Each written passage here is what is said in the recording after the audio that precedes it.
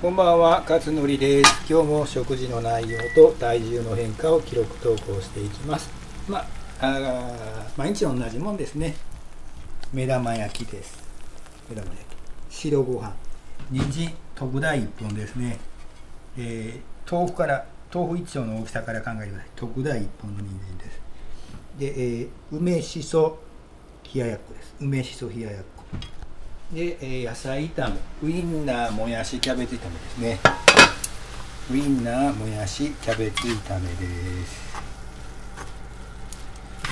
ウインナーキャベツもやし炒めです。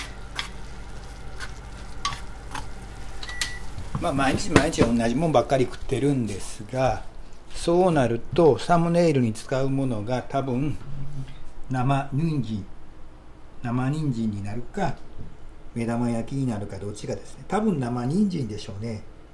はい。で、えー次に肝心の体重です。何キロになっているか。日曜日なんで脱水症状気味かもしれません。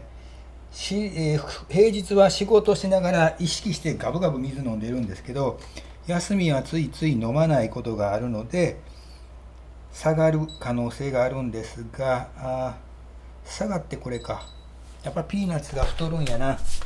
はい、57.1キロ、400グラム下がってますが、体重57.1キロ、えー体重57.1キロ、体脂肪率14.5%、基礎代謝1318、内臓脂肪レベル5、筋肉量46.2、筋肉量スコアマイナス2、推定骨量2.6です。はい。さてと、もう一度サムネイルに使うかもしれないもの。目玉焼き。目玉焼きですね。生人参。生人参。梅しそ冷ややっこ。ウインナー、もやし、キャベツ炒め。